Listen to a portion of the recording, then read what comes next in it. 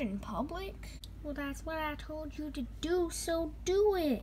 You forgot your mask. I got the vaccine. Ow. Who the heck are you?